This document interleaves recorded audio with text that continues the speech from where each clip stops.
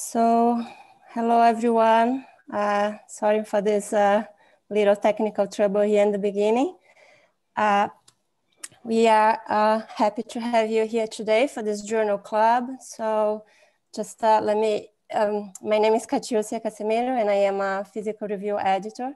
Uh, I'm gonna be your host here today. And let me just give a, a, brief overview of what is this, this journal club. So the idea is really to have a, an informal conversation with the um, authors of uh, a paper recently published in, in, in, our journals.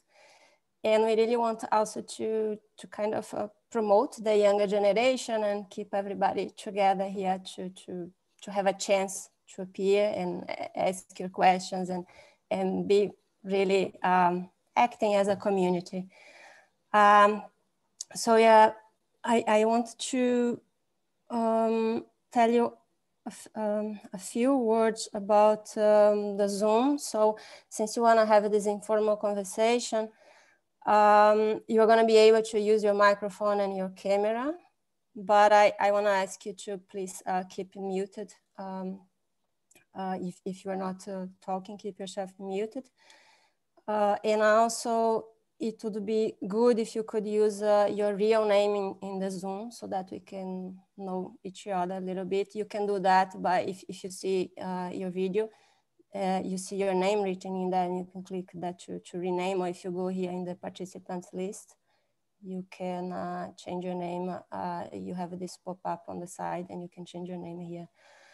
So uh, the meeting, it's um, 20 or so minutes of uh, talk from uh, one of the authors. I'm gonna say a little bit more soon, but you can uh, ask your questions at any point by typing it on the chat, or you can also use this button, raise a hand. And after the talk, uh, then uh, we would like to invite you to, to really come up and uh, say your questions aloud. Um, before we start, just let me tell you a little bit about this um, new journal in the physical review. So PRX Quantum is an open access journal where we want to really reach uh, this community, the quantum information uh, science and technology community. So it's an open access journal and our aim is really to publish um, outstanding research with um, so lasting and profound impact. Uh, we have already um, several published regular uh, papers, so I would like to invite you to keep a look in our website and also benefit from the fact that uh, to the end of uh, this year, uh, the publication fees are waived. Um, we are also uh, innovating in this journal with the fact that on the top of regular articles, we are bringing two new type of articles, perspectives and tutorials. So perspectives, um, uh, both type of articles, they are invited and uh, they are peer reviewed. But with perspectives, as the name says, we want to tell a little bit of uh, uh, the latest developments and focus pretty much on what are the open questions, what are the things that the community should uh, collaborate and get together to to overcome uh, challenges and then be able to, to be developing in, in this field. So that's the idea with the perspectives. And we also have uh, tutorials. And with the tutorials, uh, we want to kind of speed up the training of uh, new quantum scientists. So the, uh, we always hear from the community that there is a big need now to be training more people. And so we are um, inviting experts on, on several different uh, timely topics to write these tutorials uh, at a PhD level. So, and also if you are postdoc migrating fields and you want to connect with a, uh, with a new topic, so the tutorials uh, should go should be your go-to resource. Um, so having said all that, so we are very happy to have here today, the group of Professor Johannes Fink. And I would like to, to thank um, uh, his group and uh, Andrea here who's gonna uh, describe these results that were published in Physical Review Applied recently. And to help guide this conversation, I'm happy to have here Zlatko from IBM and perhaps to change a little bit to make it more interactive. Zlatko, can you tell a few words about yourself? So I will um, hand it to you. Yes, thank you. Well, first of all, I'm delighted to be here. So thank you for the invitation. It's a real pleasure. And also, this is a very close to my heart work. Um, so I'm looking forward to moderating the questions with everyone on the call. And uh, thank you, everyone, for tuning in. I know this is you know midday or late in the evening for some people. Uh, so I did my um, I guess I got into superconducting quantum devices with Irfan Siddiqi in 2007, then Michel Devoret for my PhD from 2011 to 2018, and then currently at IBM Quantum Research. The very first project I ever worked on in my PhD was superinductances. So I'm delighted to um, to you know have the chance to moderate this. Uh, I think this is a very very awesome and interesting improvement, and you know this is a big question I think in the community, especially with the new cool types of protected qubits and so on. You know zero pi and and, uh, and other kinds of high inductance, super inductance type of devices. Uh, but for that, I'll let Andrea take over and uh, give you more of a perspective. So, Andrea, um, would you like to yeah. sort of Thank you, Zlatko. And thanks to the organizer. Take over. Sorry. Cool. Yeah. So thanks uh, to you and to, and to the organizer for the interest in our work. Uh, my name is Andrea. I'm a PhD student in the group of quantum integrated devices at uh, IST Austria. And I am one of the two first co-author together with Matilda of this paper that today I will talk about. So it's about the modeling, fabrication, and characterization of a new superconducting element, the geometric superinductor. And I will start introducing a concept of high impedance environment and characteristic impedance. Um, the idea of characteristic impedance for an electrical signal uh, is similar to that of wave impedance for a plane wave. In wave impedance is defined as the ratio between the strength of electric and magnetic field, and for an ideal dielectric is an intrinsic property of the medium depending only on the magnetic permeability and the electric permittivity. Now, the characteristic impedance is conceptually equivalent, but refer to the components of an electrical circuit. So it's the ratio between the amplitude of voltage and current for a single propagating electrical signal and it's an attribute of any circuit, regardless of whether or not they are connected to a load or to a power source. And in case of lossless circuit, is just the square root of the ratio between inductance and capacitance. But to make this analogy more uh, formal, we can map the Maxwell equation that describe plane wave in an homogeneous um, and isotropic medium, a distributed element, to the telegraph equation that describe the TEM um, um, in chains of lumped element derived from circuit theory. And as a result, we can see that the element of the circuit model, LNC, can be related to the parameter of the medium.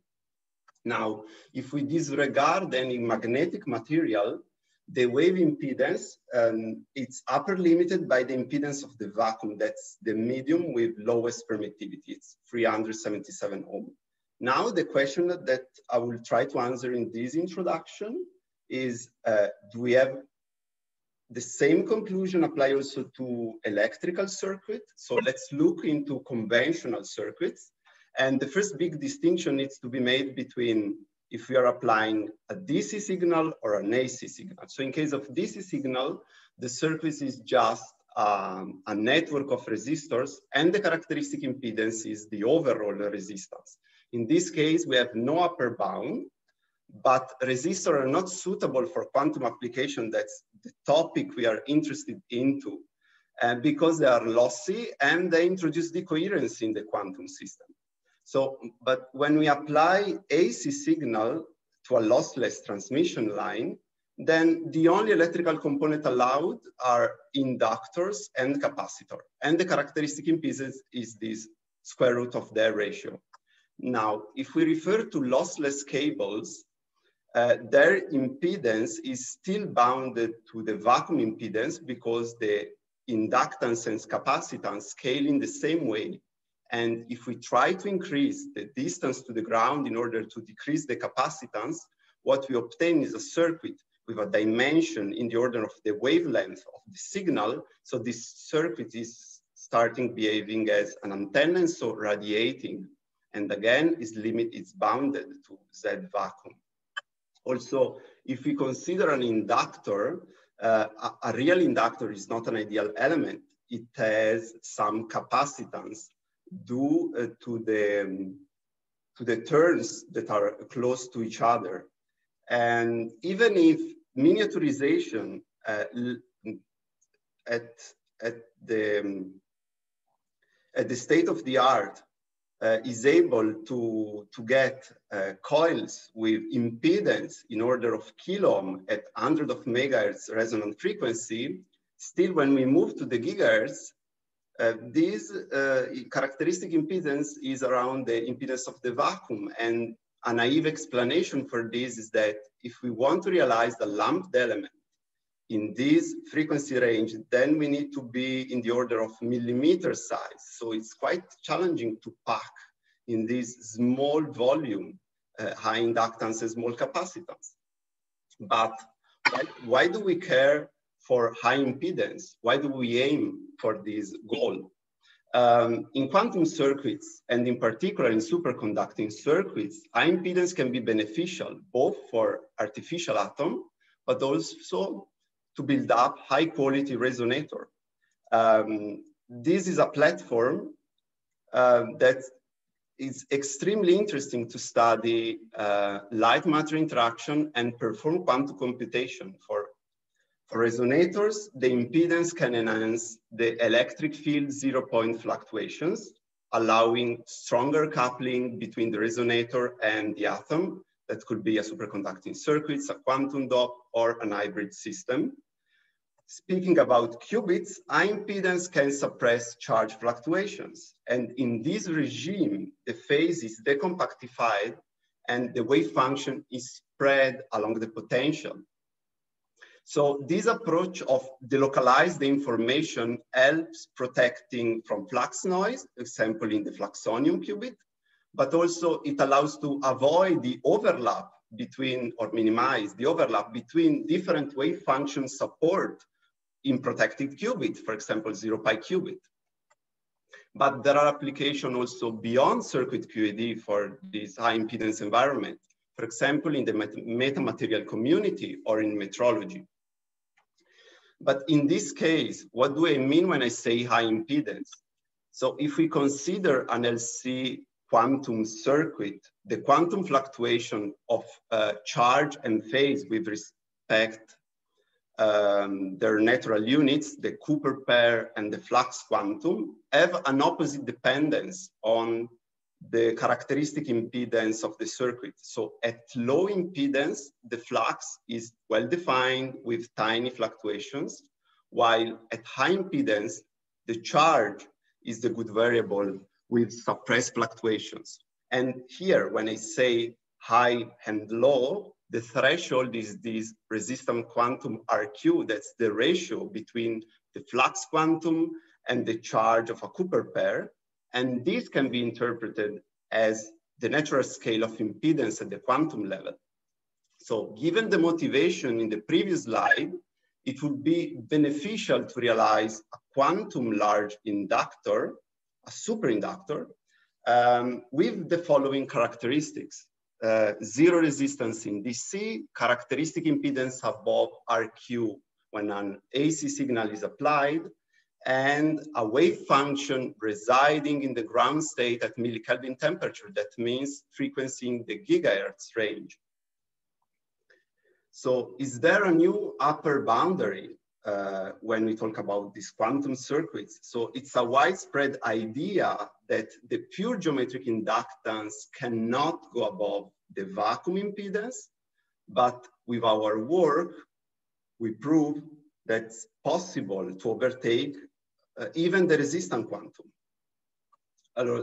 to reach this limit, superinductors up to now uh, were based only on the enhancement of the kinetic component of the inductance that comes from the kinetic energy of the charge carrier of an high mobility conductor like a superconductor. So one of the first implementation was the Josephson junction array.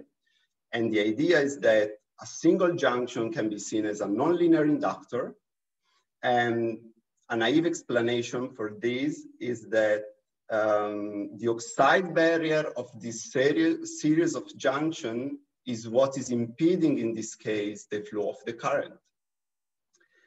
Um, another approach is to boost the kinetic inductance by reducing the superconducting wire lateral dimension uh, W, uh, making nanowires or increasing the normal state resistivity by using disordered materials like the granular aluminum.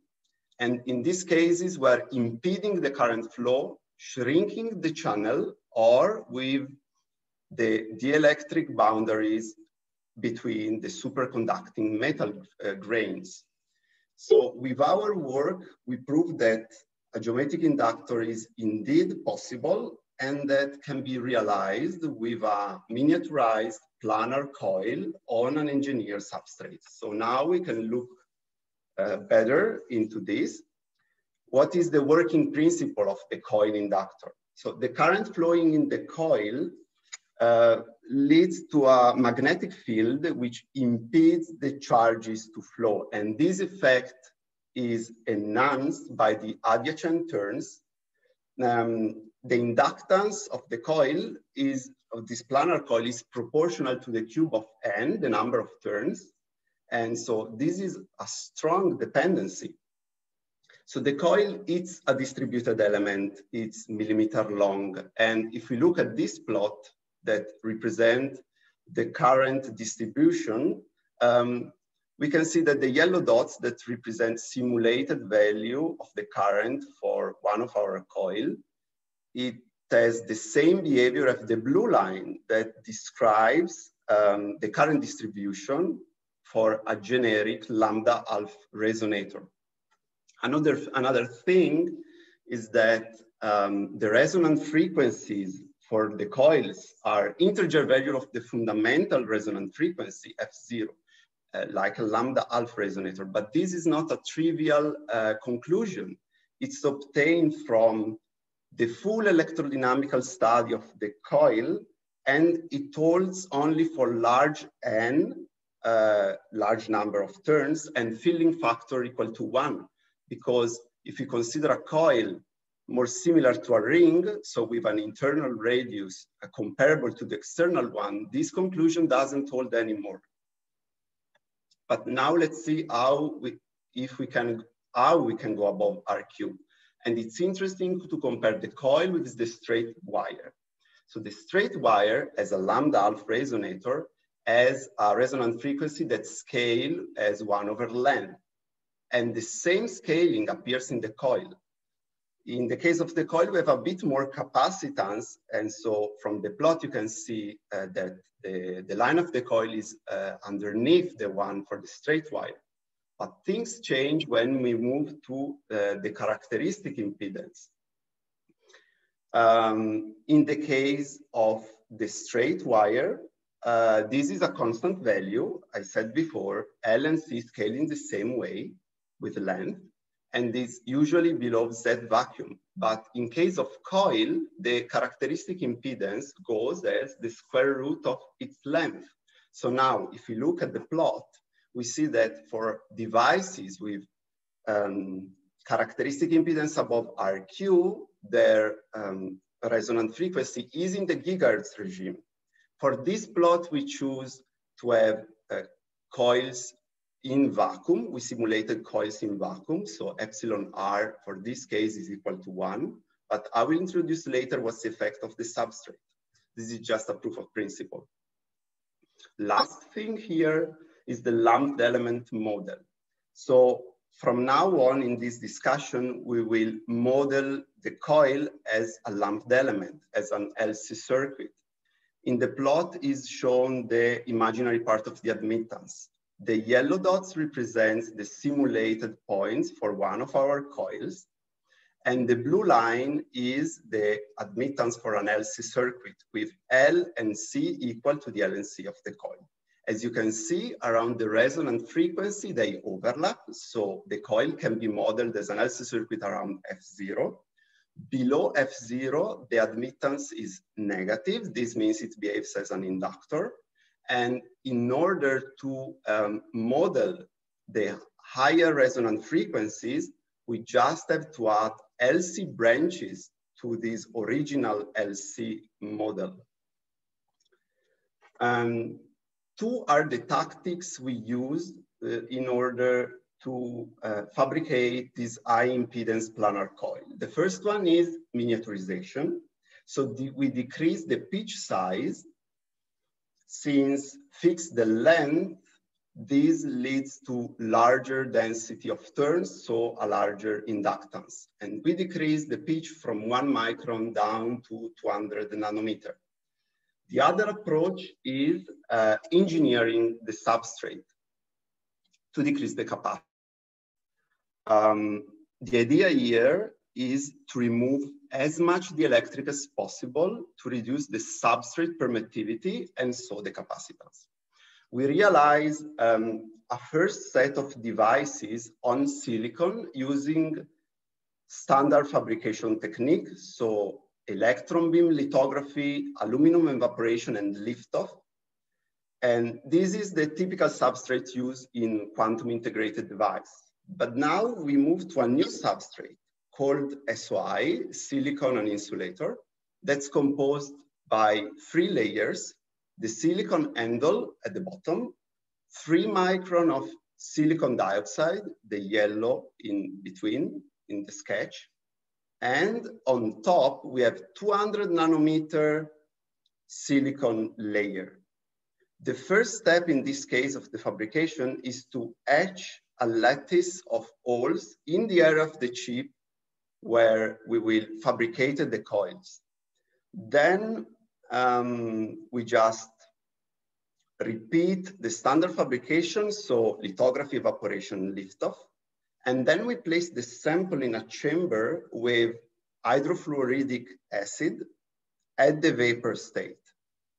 And in this condition, the vapor is able to remove the dioxide layer in the middle, passing through the holes we etched in the first layer.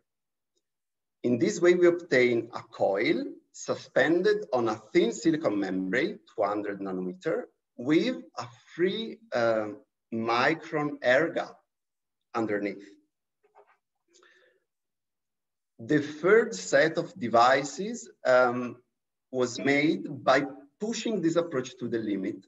So again, we start from an SOI sample.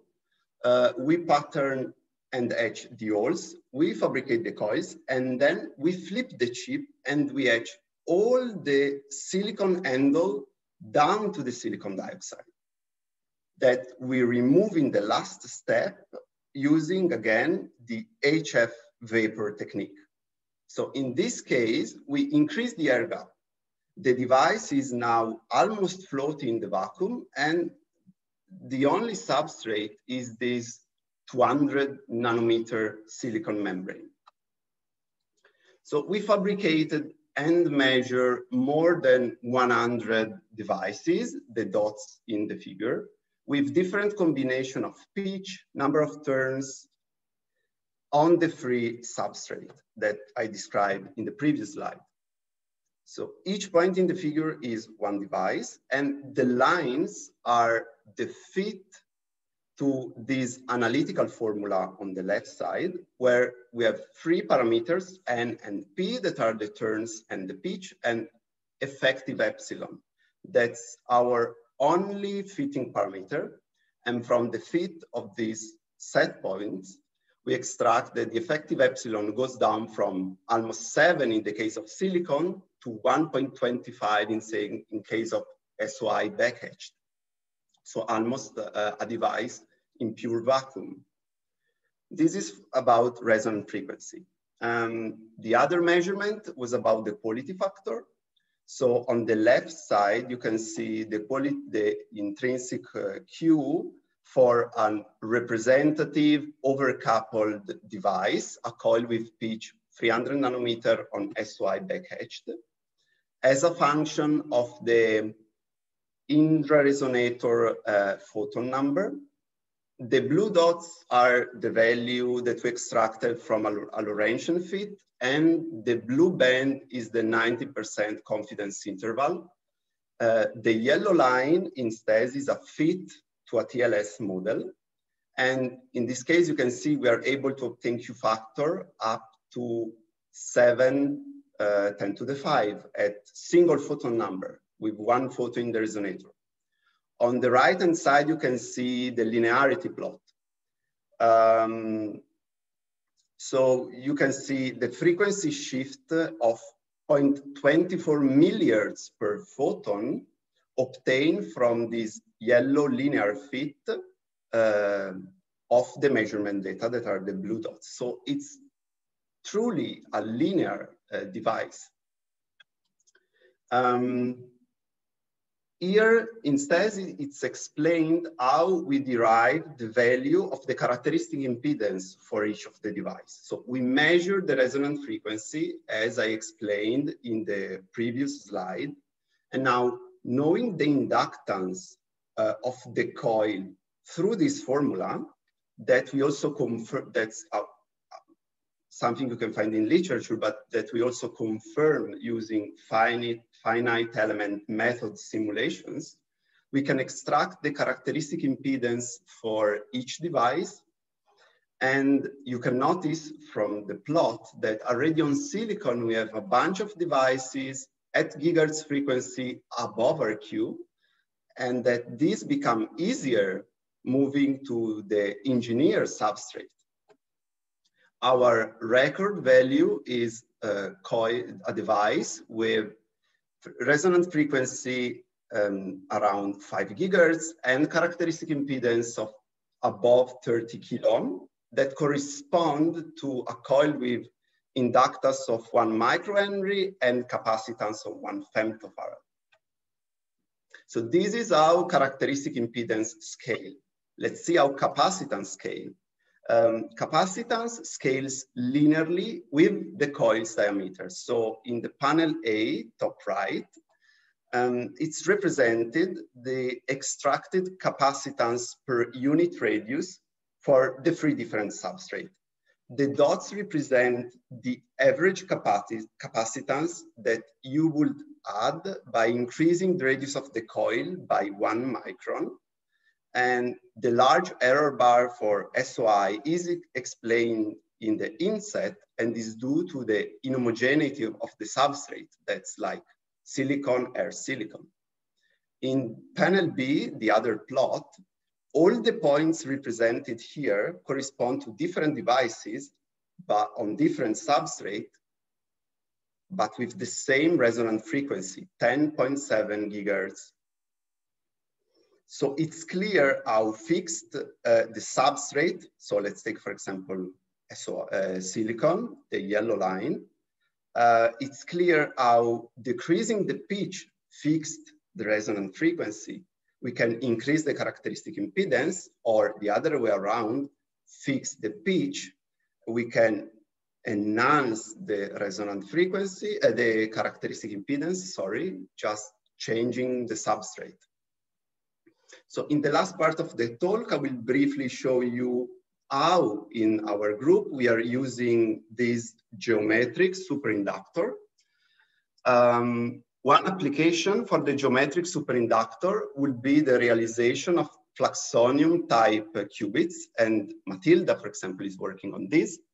Uh, three are the relevant energy for a fluxonium, the inductive, charging, and um, Josephson energy. And in a geometric superinductor, um, in a geometric fluxonium, it's possible to change EL and EC, just changing the pitch and the size of the coil as shown in the plot. Uh, in the top right is shown our geometric, how uh, one of our geometric fluxonium uh, look like. In order to close the loop and contact the Josephson junction, we need to connect the center of the coil. And our solution to do this is this series of air bridges that you can see in the inset. And with this flexibility given by the coil, it's possible to obtain the entire spectrum of um, qubit from flux qubit to Blochnium. The large inductance can be used also to protect for qubit, for protected qubit. And this is what Farid is working on, like the zero pi. So in the zero pi design, uh, you need the circuit elements to have uh, pairwise, um, to be pairwise identical. And for this, the reproducibility of the coils represent a plus um, to access the deep protected regime of the zero pi. Also, the possibility to couple magnetically without a galvanic connection enables strong coupling while preserving the circuit symmetry. And the fact that everything is suspended on a membrane is reducing, is reducing all the unwanted parasitic capacitances. And last uh, applications is about single Josephson junction. So in high impedance environment is one of the requirement to realize um, a phase slip junction. That's the dual element of the Josephson junction. Since charge fluctuation are suppressed, in this kind of device, it's possible to observe Coulomb blockade effects.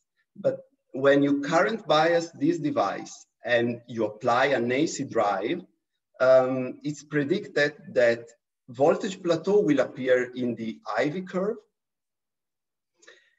at specific current values that are related to the frequency of the AC drive. And since frequency is a quantity known with high accuracy, thanks to the atomic clock technology, uh, the ampere is not, and this could lead to a better definition of the ampere, for example. So resistor plus superinductors can solve the problem of thermal heating and parasitic capacitance that's creating this shunting effect. So this is it. I want to thank you all for the attention. I want to thank my group, all the co-authors and the colleagues because every result in the research is always a team effort. And I want to conclude just with the list of the main result of the geometric superinductor. So compared to other implementation, the geometric superinductor has comparable quality factor and characteristic impedance. What is unique about these electrical components is that they are single wave function device, they're highly linear, and they have the possibility to couple magnetically. Um, then the low capacitance that's usually between one and five femtofarad um, allow to have high zero point voltage fluctuation. That's interesting for uh, coupling with hybrid system, for example. And the fact that the inductance is purely, almost purely geometric means that it can be combined with a kinetics uh, superinductor. Uh, sometimes the fabrication looks more artistic than effective, but this is what we get. Thanks. Thank you, Andrea, for the very nice talk, and thank you, team, for sharing. Um, that is that is a beautiful image. Maybe the first yes, question. It's, we'll it's from Matilda. People... It's from Matilda. Okay, yeah. great. I think the first question will probably be, can you tell us what that image is? But um, otherwise, folks, feel we can keep this very casual. I think the idea is to have more, of you know, roundtable fireside chat uh, here. You can either, I guess, post questions in the chat or, or unmute yourself politely and um, ask your question. I, I, have a few questions lined up, uh, but maybe Andrea, do you just want to tell us a bit more about the image first? So this is just an artistic lift of, of one of the coils. Okay, it's not like uh, the membrane is underneath snap or anything. Got it. Um, okay, so I think maybe for the first question, we'll start with Christian, Christian Andersen's question. Um, Christian, would you like to ask this one yourself? Yeah, I can, I can do that. Um, yeah, I just uh, got do you mind just giving a like two sentence introduction of who you are, where you're from? I mean, I uh, already yes. know, but uh, yeah, so uh, my name is uh, Christian Andersen. I'm uh, currently a postdoc uh, at ETH uh, working in the group of uh, Andreas uh, Wallraff. Previously, I did a PhD in the theory of circuit QED, and very soon I will move to a new lab in TU Delft. And I would like to ask a, a, question. I got curious when you were describing sort of the sort of uh, more basic theory you had on this. You made this analogy that you could think of the coil as a lambda half resonator. And I just got curious. Uh, I, I, have not thought so much about sort of this coil geometry, but it has sort of a quite interesting uh, current uh, distribution. Or it's sort of, uh, yeah, it's, I guess it's sort of the, it's that lambda half, but it's sort of skewed because you have this increasing radius, right?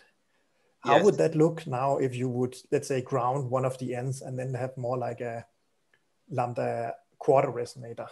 Uh, so I yes, it... um, I think Matilda or Martin can answer to this because we looked into different boundary condition for the coil. So in case of the resonator, it's just lambda half, but when you close the loop to make a qubit or something, then the condition changes and of course the current distribution changes. So if they want to slide. Yeah, I can I can answer. Uh, no, you're absolutely correct. If you we we were looking into this in simulation, so we didn't do any uh, test chips, but we um, we showed in simulation that if you ground one side, you get a lambda quarter, and then if you uh, connect the two sides like without a junction, you get uh, a lambda resonator. Uh, okay. But I can't think of any any. I mean, other than qubits, like applications, especially for the Lambda quarter. But okay. it could definitely work. Yeah. But I was more thinking, could you get sort of like a factor of, let's say, maybe like square root of two in characteristic impedance one way or the other if you make it a lambda quarter uh, uh, compared to size? Mm. Uh, or is there no sort of scaling like that? I, I am I, I don't know exactly. I would think maybe you would might you might get a you'll get a good uh, scaling if you go to the lambda uh, side rather okay, than I the see. lambda quarter. Ah, okay, I okay, think so. because your effective capacitance goes down. Mm-hmm. I see. Okay, yeah, uh, that makes sense actually. Yeah, yeah. Thanks. That's interesting. I guess that raises two interesting questions I had myself. One is, you know, where do you define the impedance uh, when you talk about it, right? Because that if it's just a lumped element inductor, then I guess it's from the two ends. But if you're thinking of it as an actual transmission line, then it's more complicated. Because I had a different interpretation of this picture. Maybe maybe both are equally valid, not as a transmission line, but actually as a purely just inductive, uh, you know, mutual high mutual inductance thing. And the, my understanding was the current is high in the middle, not because it's you know there's nodes and antinodes of the current, like it's not a lambda over four. It's, it's it, there's no capacitance in the structure. Maybe I'm wrong for this picture, but I, I just understood it because there's a lot of mutual uh, uh, inductive coupling in the middle. So this could be in the lumped regime where it's not a distributed resonator, but actually just purely inductive, no capacitance whatsoever in that picture. Is that also a valid interpretation? I would say um, we have the maximum of the, so the magnetic field is not really going through it uh, each turns, but it's more a general field. So going around um, one radius of the coil. And so with the maximum magnetic field in the center, we have the maximum of the current just in the central turns. Because maybe schematically, from like a circuit schematic point of view, could one think of this as as a series of inductors that then have sort of mutual inductance with you know kind of this in the spiral way like one radii over two radii. And and and that's what you know putting a little bit of current in the middle then you know transfers current to all the nearby uh, parts of the coil as well. So there are some electric engineering paper about this but none of the simplified formula they um, summarize or use can be applied to um, our geometry at least. Um, but I think it's a valid way of thinking. I, okay. I, I, would just like to add that in terms of the inductance, it's it's very well understood, and there's multiple ways to model it. This, in the same way as for a capacitor, it's easy to calculate the capacitance and, and kind of difficult to think of the parasitic inductance. Here, it's really there's no model, a good model for predicting the parasitic capacitance, uh, or very complicated models that have all some funny assumptions but it's very easy to get the induct predict the inductance, uh, also with analytical means and similar models that you suggest. Yeah, thank you. Yeah, the agreement between analytics and simulation is pretty awesome. So that's that's really nice. Um, we we could keep in this direction, but maybe we should pause and uh, see if anyone else would like to uh, raise questions. Meanwhile, you can unmute yourself. Uh, you don't have to introduce yourself if you don't want to uh, or you can post them in the chat box and we'll take them that way. So let me just give people a few seconds to see if they'd like to unmute and ask another question.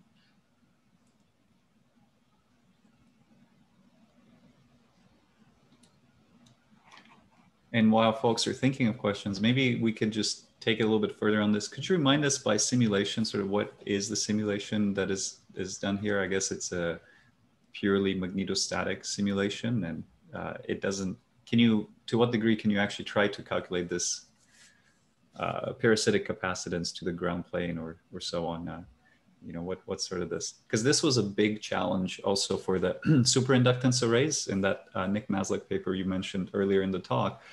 that was one of the main things of that paper was exactly trying to model and optimize the self-capacitance, the capacitance to ground, so as to reduce the phase slip rate of those junction arrays.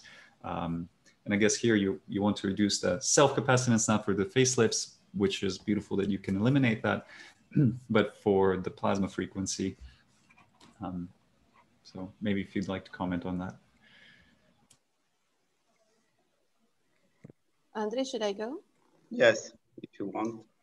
So we did a few uh, simulations to kind of uh, figure this out uh, I would say like maybe the the first one was that we would simulate. So we simulate the coil as a resonator, and we simulate the. So we basically um, take out the resonance frequency, and then we would add a capacitance in series and slowly increase that, and then try to extract from that what the original parasitic capacitance was from the change in, in frequency.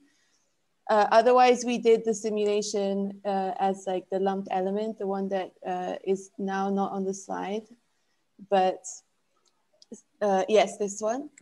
And from this one, we, yeah, we did the fit to the LC model. And from there, from uh, taking the derivative at, at F0, you can find the stray capacitance of the circuit.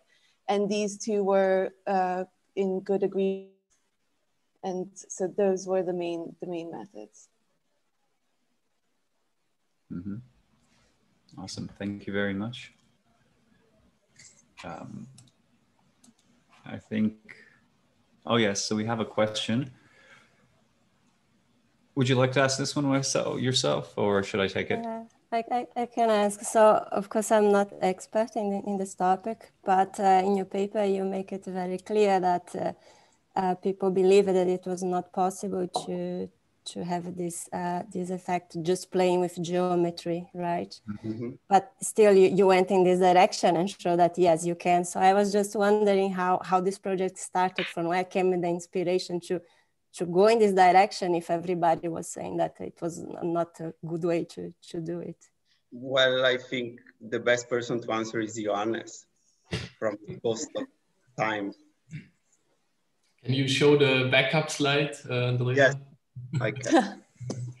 so um, I would say it started when I was at Caltech in, uh, um, in Oscar Painter's lab, and we basically tried to couple strongly uh, tiny mechanical high frequency oscillators to microwave circuits. And uh, we realized we have to cut the parasitic capacitance as much as possible. Uh, and, and, and I went about this problem uh, as a, like an electrical engineering person with simulations and uh, some equations uh, that are known about the inductance.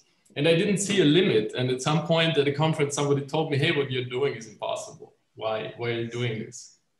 And then, and then I, I read, uh, I also met uh, Kitaev and Preskill sometimes, and they have also an interesting paper where they say, we take it for granted that such an element can be made. And if it can be made, you can do this fancy topologic, uh, like these error protected readouts and, and things like this and gates so I thought, wow, I, I, think we actually could do this. And then I and, I, and I started to explore some of these uh, statements that I shown here, which which say basically it, it, it shouldn't be possible, and that was certainly one of the motivations just to to show it's not true.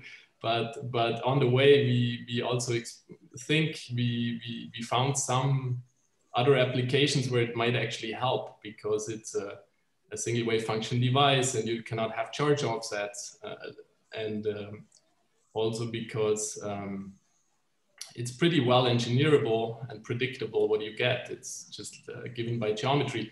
There is also some disadvantages, of course, but in particular for the original purpose, this was really a game changer that helped us achieve really nice results. Even though we didn't go quite as far in this limit, uh, we used it for many nice uh, electromechanics experiments uh, which wouldn't have been possible otherwise. Uh, because there you need both high linearity and tiny parasitic capacitance and large uh, zero point fluctuations. Thank you, Johannes. And we have a follow-up or a question from Christian. Um, yes, yeah, I just had one more question that I, I wanted to ask. Uh, at the sort of end of your uh, outlook, or in the middle of your outlook, I guess it was, uh, you showed this uh, fluxonium uh, type device where you had these air bridges uh, going over. Um, and, and I just wondered, uh, one of the sort of uh, advantages that you keep mentioning in, in this, and which I think is, is very nice also, is that you this it seems more reproducible than let's say a junction array. But when I look at this sort of uh, zoom in of these air bridges, it, it seems maybe less reproducible, or at least it seems a bit more disordered sort of when it goes over compared to sort of the geometry itself. Uh, could you sort of comment on, let's say, how reproducible this air bridge technique also is? Uh, yes, uh, so the bridges are quite reproducible because we are able to obtain uh, devices in different regimes. Uh, in this picture, the wire width, wire width is really small, it's probably 150 nanometers. So of course they are less stable when the, the wire is so tiny um, but even if they looks like they are touching each other, they are kind of oxidized, so they are not creating any short. And if you are scared about the additional capacitance that this type of um, um, bridges um, are adding to the circuit, we it's only about a couple of percent because the parameters of the uh, qubit are very similar to what they are. If Matilda, you want to add something else, or if Christian? Wants... No, no, that is that that is uh, exactly what I was. Okay, say. I see. Yeah, yeah. I was actually yeah. I I I, I understand that from capacitance point of view, it, it's a small length, so that should not probably not matter too much. But I was mostly worried about the let's say contacts and short. Uh, but as you say, mm. okay, it's oxidized, and, and that gives you enough protection. Just yeah. two or three. I have one comment about it. So this um, this disorder uh, doesn't happen for all the devices, but sometimes it happens. Also, it doesn't happen when we make it, but in a, in a in a subsequent layer because we actually spin and bake on the freestanding bridges, um, and then sometimes, depending on their shape, they deform. And uh, uh, maybe so, last comment. so, so you do that for the to make the junction in a afterwards. Yes, yeah. Yes, okay, I see. Yes. Yeah. So, so things like this could potentially be changed. And then the last comment, maybe, I think it's important to realize that the adjacent turns are roughly on the same potential in this large N limit, which is also the reason why it doesn't cause great parasitic capacitance. Uh, and therefore there's very little field uh, dropping between the turns and that probably helps to keep the losses reasonable, even though this is happening. Ah, yeah, that's a good point. Yeah, makes sense. Mm. That's very nice. Thank you. Uh, Matt, I see you have your hand raised. Thanks. Uh, very nice. Um, you touched on this maybe a little bit, but not directly what I had in mind. So I think it's fair to say what enabled all of this progress that you've made was the actual um, fabrication and nanotechnology aspect of this work. Can you talk to us a little bit about that? I don't mean like growth conditions and things like that necessarily, but you know, how special is the fab setup that you have? Could someone else do this? Are you the only people in the world that could create these things presently? I mean, how, um, what are the prospects in those terms for other people being able to do this kind of stuff and actually make their own applications in their own labs? So I will say um, the fabrication is the challenge for these superinductors. You showed the nice, you, you saw the nice picture at the end. Uh, it's a five to seven layer fabrication, so it's not short or easy, but we were able to make it work reliably because we produce more than 100 devices and we have uh, also many qubits in different regimes. Uh, each step, I would say, is, is the standard fabrication process. So for each step is not um, a problem to be able to reproduce it. But of course, uh, you need to um, um, tune all the process because they affect each other from the dimension of the holes in the first etching to the last HF vapor release. And yes, also the dimensions of the, of the wires. They need, the resisting between needs to be stable, otherwise they collapse one into, into the other. The membrane needs to be stable. But silicon is quite good substrate for this. And while coils not at this limit were, uh, realized in other groups, um, but with just pitch, with larger pitch.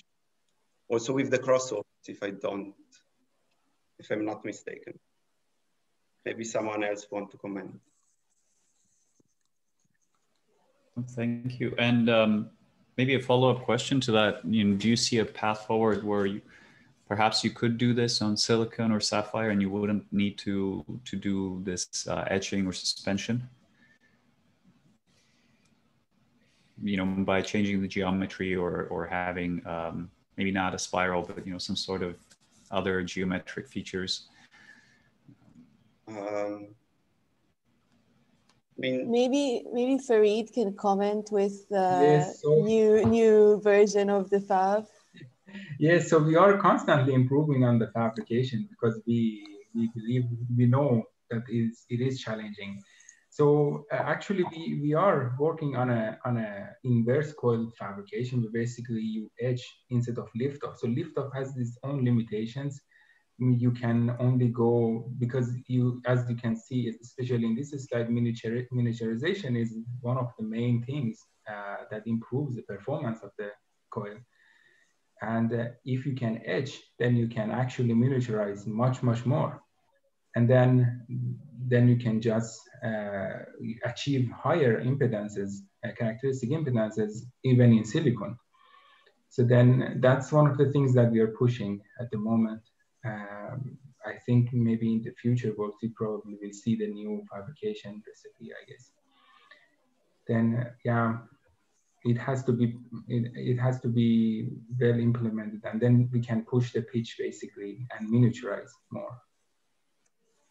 I see that you um, you uh, evaporate the aluminum first, and you you were talking about oh it's all oxidized, so you know you don't have to worry about that kind of short contact.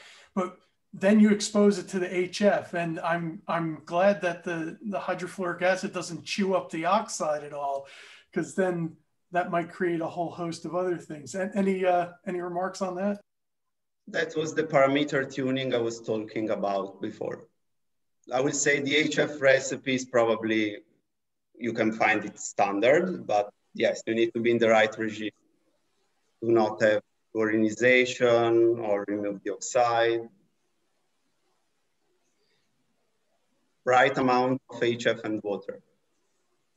So yeah, the HF, the HF process is not so standard in our community, maybe in the superconducting qubit community, because liquid HF immediately eats aluminum. But uh, these anhydro, how is it called? Uh, well, this water, sort of water-free um, vapor process is actually a standard process in CMOS. And uh, if you buy a, a, more professional machine than, than the thing that heats up the HF with a lamp, then, then, you, then you don't see aluminum etching uh, usually, if, unless you choose crazy parameters. But something we definitely did see is deposition of, of, of uh, things we don't want. So to tune that uh, was definitely also some, some effort. Thank you. Um, I guess with that, maybe we should take one final question before uh, showing our final slide. Uh, is there a final question from the audience? Otherwise, I think I have one myself. Feel free to unmute yourself or post it in the chat. I was interested, so I kind of understood that the non, the inherent nonlinearity due to the kinetic inductance is very small from your work. So I think there was about 5% kinetic inductance uh, and a very small self-Kerr effect of the self-resonance. Uh, but it seemed like the quality factor was still power dependent even below the single photon level. Could Is that you know something you expect from the sort of two level system model uh, or is just because of the high participation i guess that you think you might see of two level systems in this? Because I think for norm for larger larger feature CPW resonators, I don't think usually you see quite as much of that. Um, or is that maybe a calibration question of uncertainty? Um, you know, is that an expected feature or maybe not? Is that um, we want the backup slide? Uh, yeah, maybe no. Just go to the the slide with the the TLS. Yeah. Um, so you're talking about uh, so the yeah the thing is you don't have that many points under uh, under one photon to probably say this with accuracy, and uh, it's there there definitely could be there's definitely some uncertainty with regards to the calibration. Um, from my experience, the like this the the fit that we did has this um, critical photon number uh, which is quite low, um, which means that the uptick of the quality factor happens quite early on and quite low photon powers. Uh, but I don't know what this is, is due to. Okay. Oh, and uh, I think that, that goes with the question I missed earlier, which is what if you did niobium instead of aluminum or you know some other material with a higher uh, gap? you know, would would that provide some potential benefits? I don't know, Andrea? I mean, we are working also on this. Maybe Farid can, can answer. Just bouncing. no. I mean, niobium, of course, can help uh, if you want to introduce a magnetic field and then, for example, couple it to a quantum dots. Um, this is one application I can think of. Um, is something on the plate, but we don't have final results about this. Okay, maybe an open question. Well, I'd like to, with that, thank you, Andrea, for the presentation. Thank you to the team for answering all the questions during the live and A. Don't go away just yet. I think we have one more slide, uh, so I'll turn it over. Uh, and yes. Can you see the slide, right? We can see the okay, slide. So, yeah, thank you so much for everybody for being here today. Andrea for this nice talk and all the authors for, for this, this uh, conversation. And thanks a lot, uh, Zlatko, for the moderation. And I just want to say that next week we have another journal club. It's going to be uh, on Thursday Uh, so it's a paper on quantum metrology that was recently published on PRX Quantum. So um, yeah, come again. Uh, we hope you enjoyed this event and see you in the next one. Thank you.